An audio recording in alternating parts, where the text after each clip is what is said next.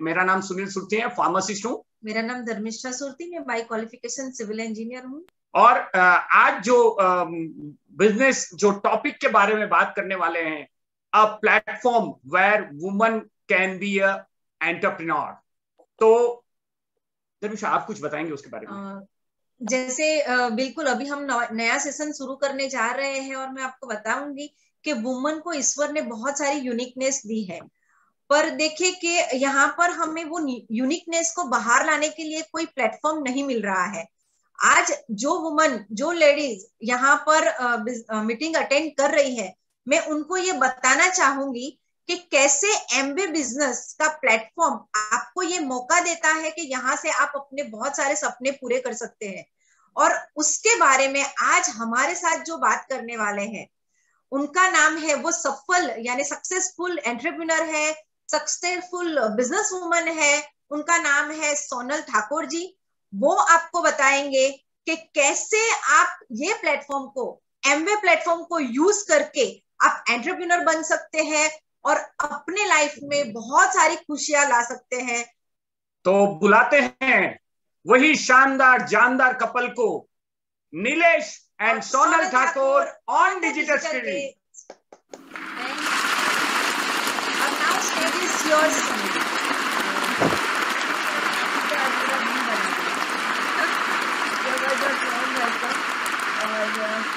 शायद मैं ये बिज़नेस में इसीलिए भी टिकी थी कि मुझे इतना अच्छा रिकग्निशन मिला राइट और मिलने का जब मैंने देखा तब चांसेस मुझे देखा था।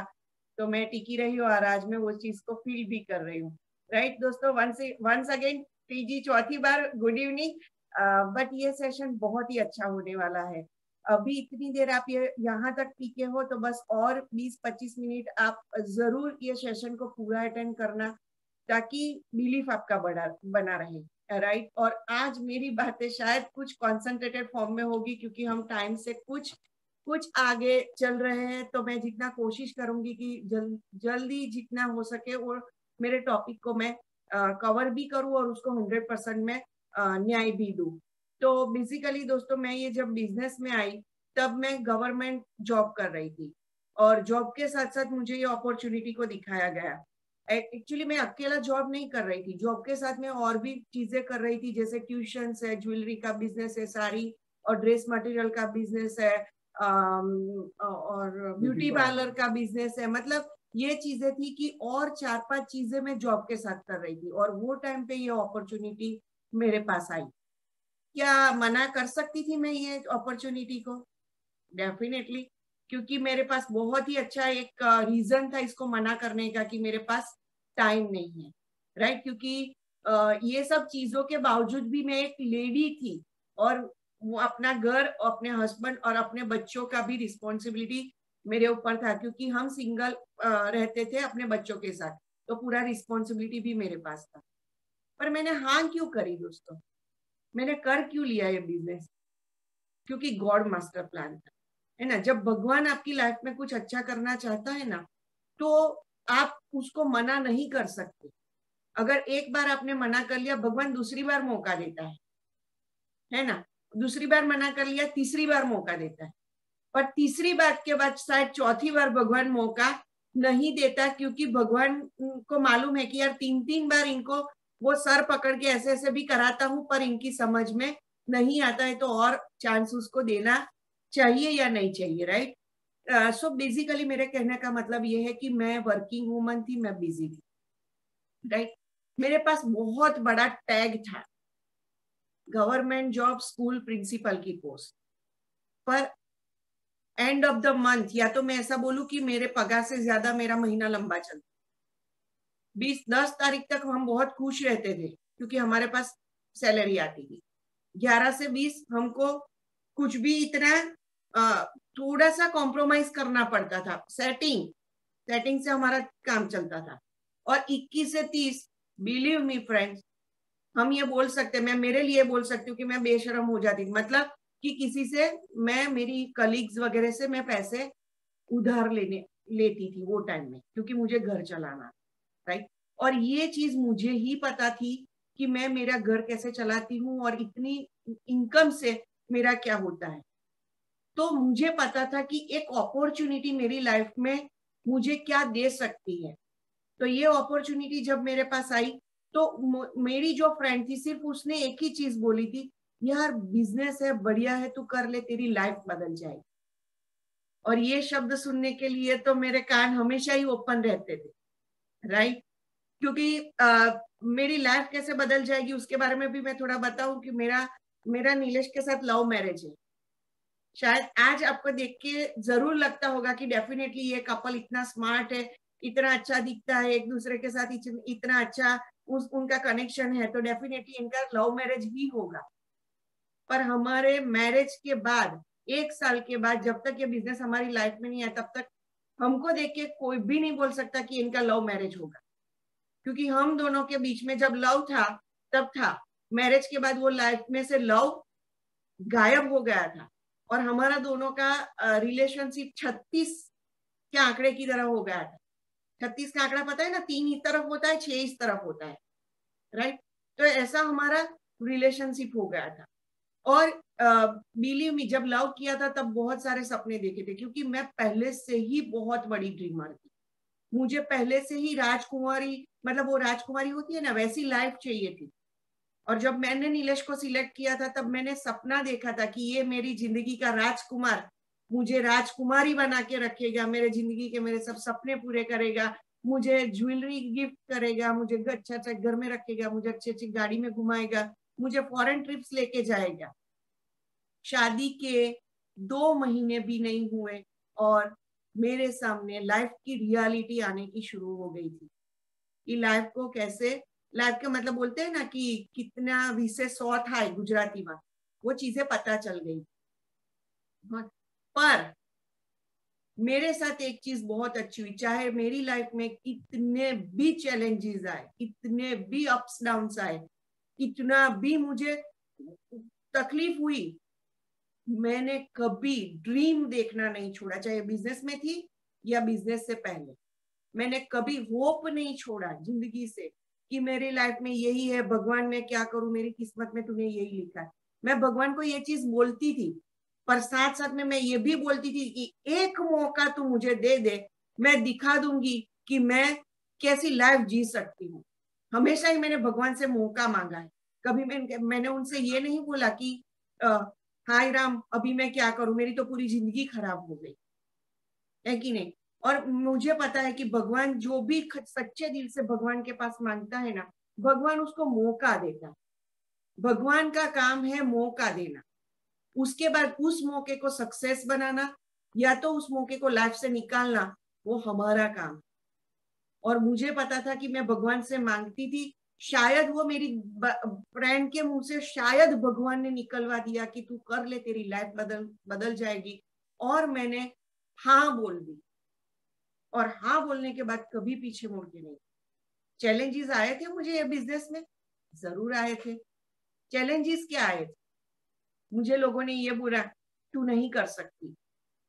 क्योंकि मेरी रेपुटेशन ऐसी नहीं थी कि कोई मेरे साथ ट्रस्ट करे, कोई मेरे साथ जुड़ने के जुड़ जुड़ के प्राउड फील करे कि हाँ मैं उसकी टीम में हूँ ऐसा बोलने के लिए किसी को प्राउड हो मैं मेरा रेपुटेशन ऐसा नहीं था क्योंकि बोलते हैं ना પૈસા વાળો શું કહેવાય ને પૈસા વગરનો પૈસા નાના વગરનો નાથીઓ અને નાણે નાથા लाल तो सो हमारी पोजीशन वही थी बहुत सारे लोग हमको अंडर एस्टिमेट करते थे तो हमको सबसे पहले ये सुनने को आया तू नहीं कर सकती और ये तू नहीं कर सकती, उसको मैंने ये लिया, मैं ज़रूर ज़रूर ज़रूर कर सकती हूँ। क्योंकि अगर दुनिया में कोई इंसान अच्छी चीज़ें यूज़ करने के लिए बना है, कोई इंसान अगर अच्छी चीज़ें यूज़ कर रहा है, कोई इंसान अच्छी लाइफस्टाइल एंजॉय कर रहा है तो सोनल ठाकुर वो लाइफस्टाइल एंजॉय कर सकती है, मैं करूँगी, और इसीलिए मैंने उस चीज़ को मोटिवेशन बनाया कि मैं ज़रूर करूँगी। ये सबसे पहला था।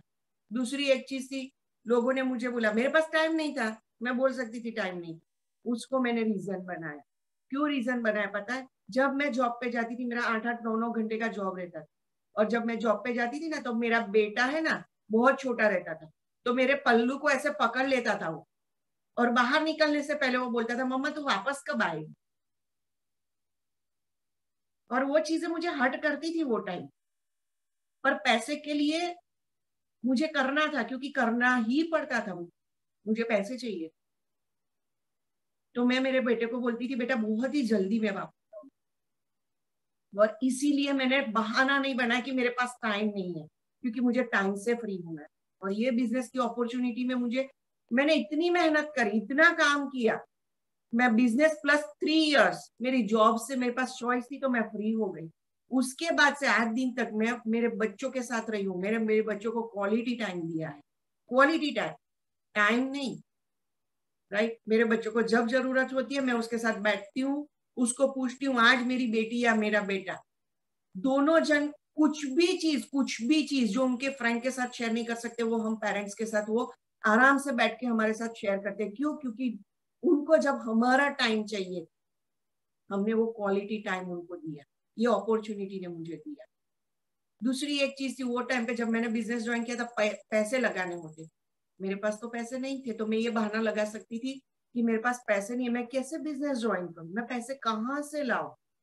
राइट आजकल लोग प्रोडक्ट खरीदने के लिए बोलते हैं ना, मेरे पास तो पैसे ही नहीं है, मैं प्रोडक्ट कैसे खरीदू? कहाँ से लाऊ प्रोडक्ट खरीदने के पैसे? दोस्तों, मैंने वो बहाना नहीं बनाया। मैंने इसको रीजन बनाया कि कुछ पैसे कुछ ऐसे छोटे पैसे जिसको मैनेज करके मैं ये बिज़नेस स्टार्ट करती हूँ तो मैं लाखों और करोड़ों रुपए कमा सकती हूँ। वो पैसे अगर आज मैं मैनेज नहीं कर पाई तो पूरी लाइफ मुझे लाइफ ऑफ़ कॉम्प्रोमाइज जो कि मैं नहीं चाहती। तो मैंने वो पैसे मैनेज किए। कैसे मैनेज किया मैंने बैंक से लोन लिया और मैं बिज़नेस को स्टार्ट किया। सो so, दोस्तों एक चीज़ सिंपल सी है, मुझे ये ये बिज़नेस में आने के बाद एक चीज़ सिंपल सी पता चल गई थी, बहाने बनाने वाले कभी पैसे नहीं कमाते और पैसे कमाने वाले कभी बहाने नहीं बनाते राइट और दूसरी एक चीज़ कि ये बिज़नेस में प्रोडक्ट को सेल करना होता है। मुझे भी जाके सेल करना था। अभी मैं, मेरा रेपुटेशन है, मैंने आपको बताया। कोई मेरे ऊपर ट्रस्ट नहीं करता, मैं कैसे प्रोडक्ट सेल करूँ? फिर भी मैंने किया, क्योंकि मैं खुद प्रोडक्ट की प्रोडक्ट पहले मैं खुद बनी। फिर मैंने वो मेरा एक्सपीरियंस शेयर किया, मैंने प्रोडक्ट बेचा नहीं शेयर किया। और उनसे रिलेट किया कि सेम जो आज चीज़ आप फेस कर रहे हो, वही चीज़ें मैं फेस करती थी, पर ये प्रोडक्ट से मुझे यहाँ यहाँ यहाँ फ़ायदा हुआ। तो वहाँ पे वो कनेक्शन से मेरे प्रोडक्ट जाने लगे। मैंने घर घर जाके थैला लेके बेचा नहीं है और ये बेचने का बिज़नेस भी नहीं है। और अगर बेचने का बिज़नेस होता ना दोस्तों तो ये जो सक्सेस प्रोफ़ाइल है ना, ये आपके जो अपलाइन है, आपने जहाँ, जिसने आपको ये बिज़नेस में यहाँ तक बुलाया है और आपको ये प्रेजेंटेशन आज दिखाने के लिए बुलाया उनको बोलना कि मुझे एक बार सक्सेस प्रोफ़ाइल दिखाए।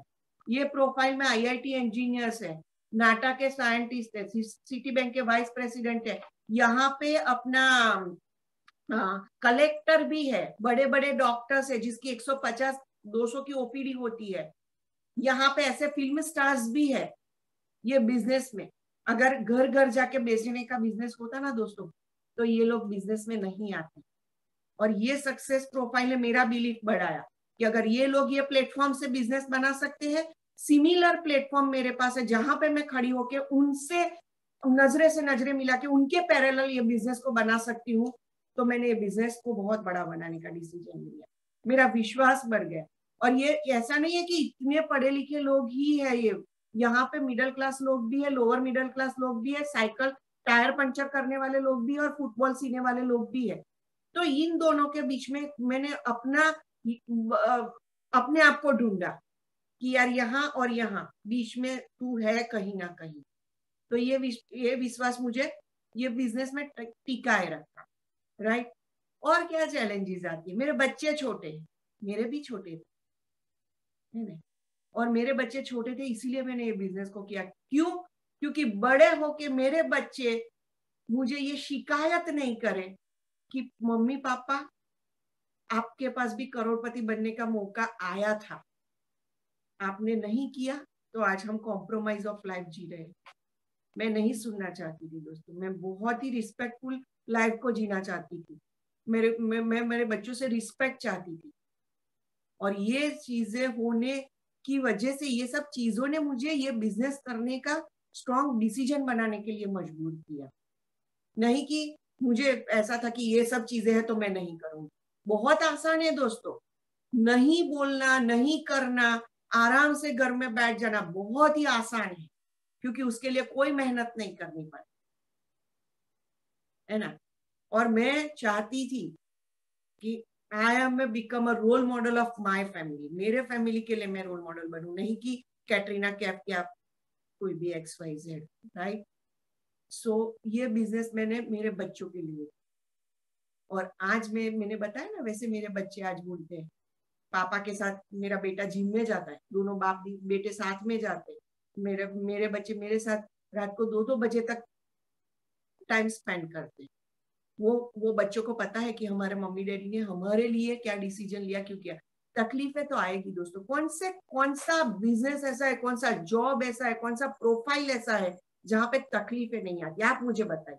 आप मुझे खाली एक प्रोफेशन बताए, एक जॉब बताए, एक बिज़नेस बताए जिसमें तकलीफें नहीं आती और आराम से आप ऐसे हाथ पे हाथ रखो और पैसे घर पे आते रहे। तकलीफें तो आती है।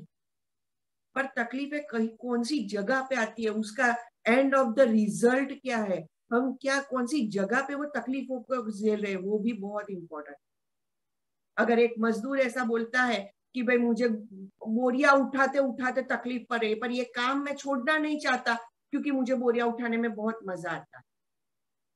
तो उसको भी तकलीफ़ है, पर उसका एंड रिज़ल्ट सेम है, क्योंकि उसको चेंज नहीं होना है। पर मैंने चेंज होके वो तकलीफों का सामना किया। और दोस्तों, एक चीज़ सच्ची मैं बताऊँ, जब मुझे ऐसी ये स्टेज से कभी अपने आप से बात करनी होती है ना कि मैं बिज़नेस में लोगों को मैसेज क्यों दू तो मुझे चीज़ें याद करनी पड़ती है कि भैया, मैंने क्या किया था ये बिज़नेस को बिल्ड करने के लिए? कौन सी तकलीफें उठाई थी? क्यों?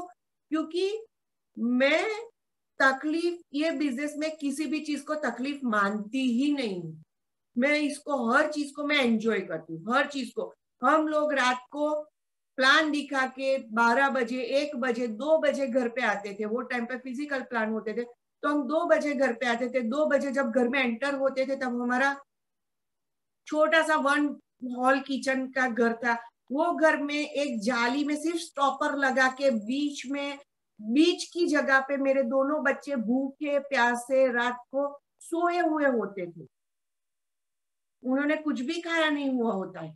और सोते हुए सोते ताला भी नहीं लग, लगाते थे वो ऐसे ही स्टॉपर लगा के सोते।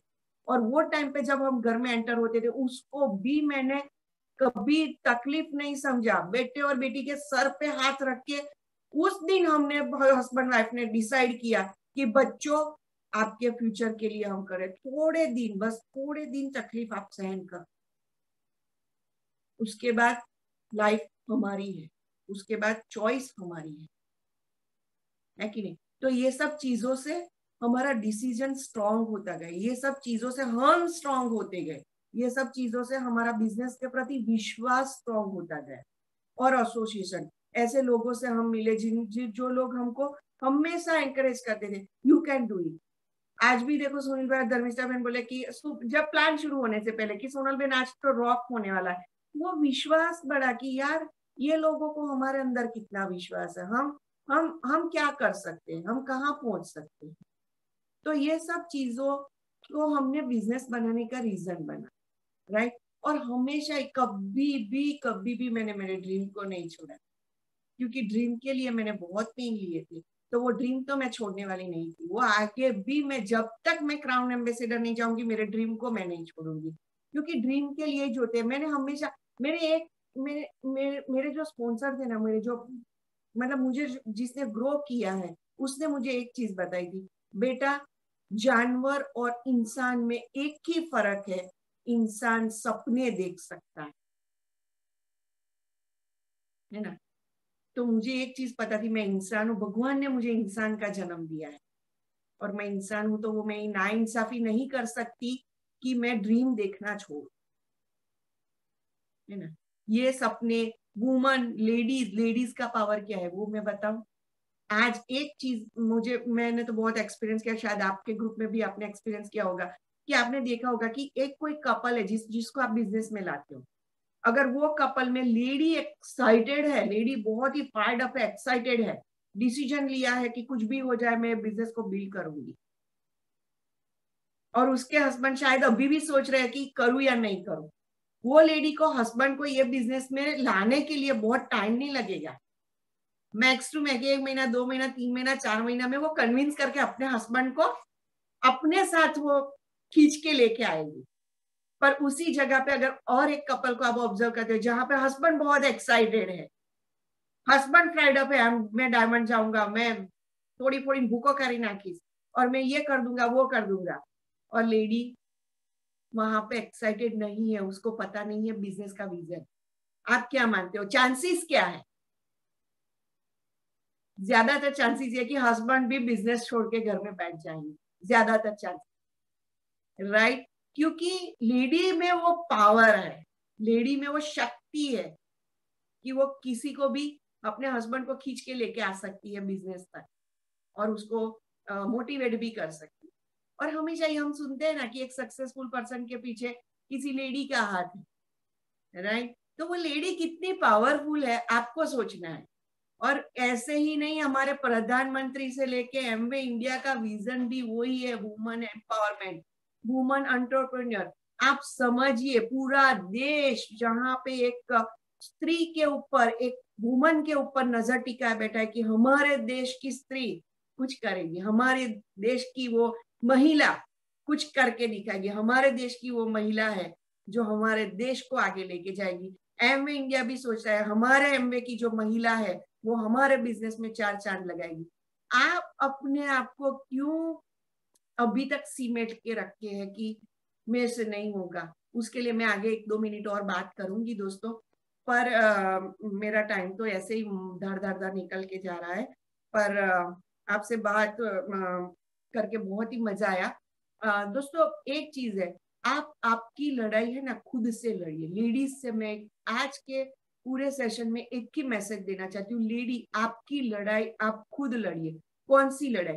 आप आप किसी से बाहर लड़ने बाहर आपको लड़ने जाना ही नहीं है। अंदर जो एक मैं सोनल हूँ मेरे अंदर और एक सोनल है जो कि मुझे लड़ाई लड़ने पर मजबूर करती है। वो बोलती है तेरे से ये नहीं होगा। मेरी लड़ाई ये है कि मुझे अप्रूव करना है, मेरे से ही होगा। मेरे अंदर की सोनल ये बोले कि लोग तो तुझे ना बोलेंगे। मेरे अंदर की जो सोनल है, वो बोल रही है, लोग तुझे ना बोलेंगे। मेरी लड़ाई ये है कि मुझे प्रूव करना है कि लोग मैं बात करती हूँ, लोग मैं सच्चाई से उनकी आँखों में आँखें डाल के अगर पोटेंशियल दिखाती हूँ अच्छा बिज़नेस दिखाती हूँ, लोग मुझे हाँ बोलेंगे। अंदर वाली सोनल बोल रही है कि लोग बोलेंगे प्रोडक्ट महँगे। मुझे अपने आप से लड़ाई लड़नी है कि नहीं किसी को प्रोडक्ट महँगी नहीं लगेंगी, क्योंकि ये सब प्रोडक्ट वैल्यू फॉर मनी है। अपनी लड़ाई, खुद के साथ की लड़ाई, आप जब लड़ना और उसको जीतना सीख जाएँगे ना, दुनिया की कोई ताकत, दुनिया की कोई स्त्री को अपने मंजिल तक पहुँचने से नहीं रोक सकती। बिलीव मी दोस्तों, हम हार कब जाते पता है? खुद से ही हारते हैं।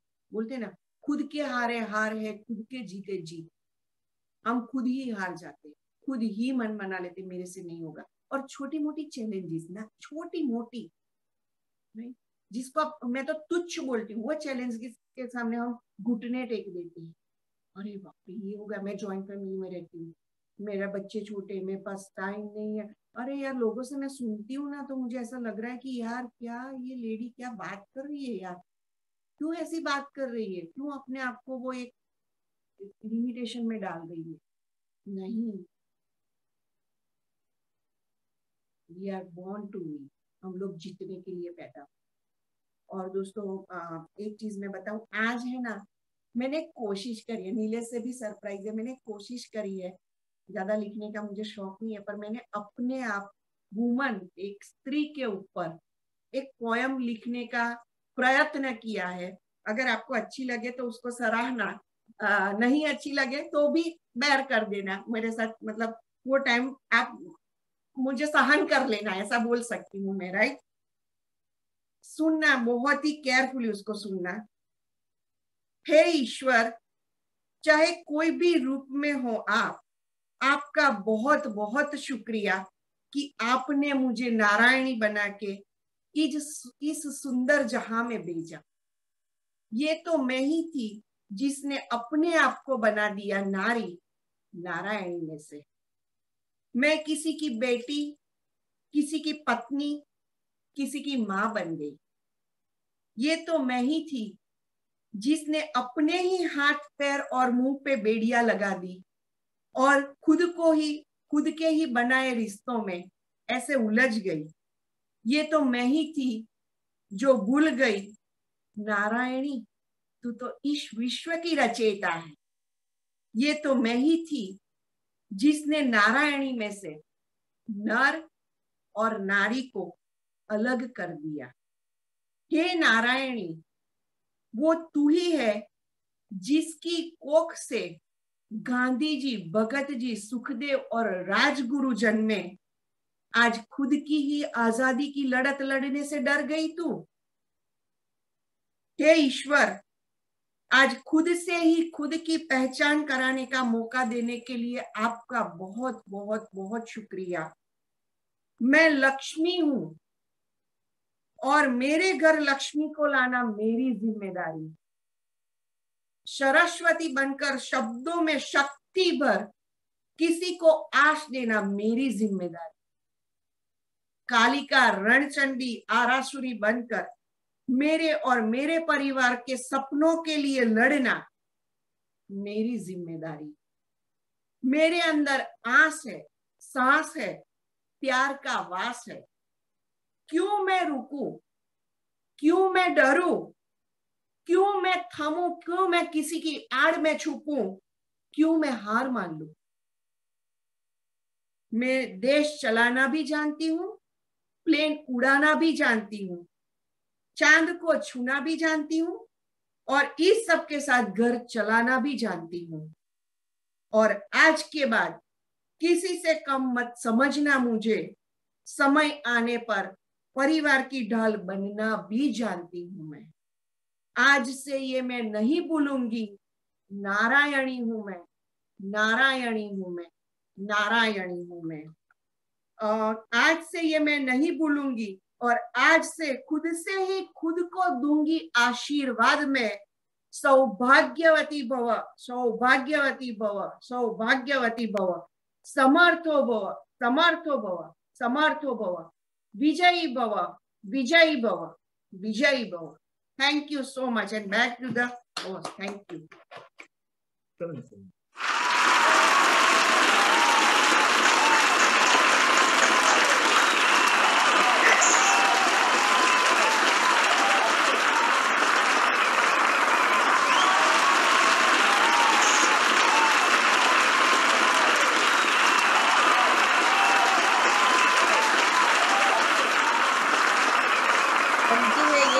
ज़रूर बनती है।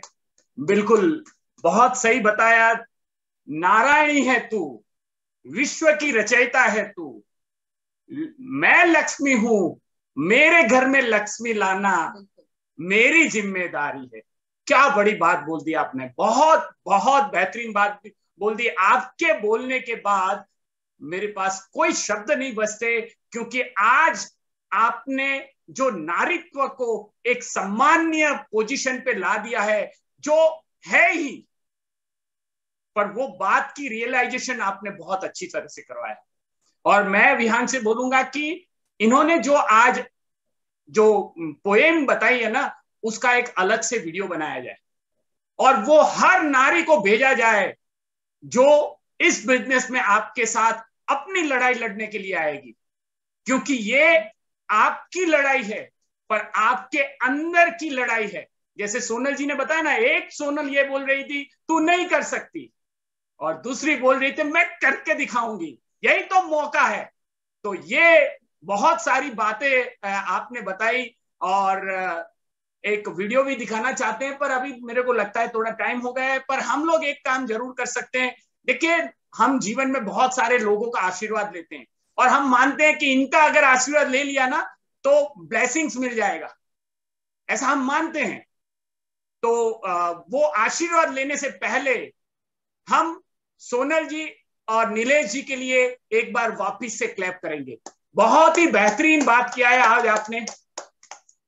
और दूसरी बात, हम लोग अपनी बात को ज़रूर से दोहराए और जैसे उन्होंने बताया, ये अपनी लड़ाई है तो विहान सब सिल्वर एंड अप लीडर के ऑडियो को खोला जाए और आप सब लोग हमारे साथ दोहराएँगे और फिर हम लोग आशीर्वाद देंगे। और ये पाँच छह लाइन आपके जीवन के वो अमूल्य साल बचा देंगे जहाँ से आप सफल होने से वंचित रह जाएँगे।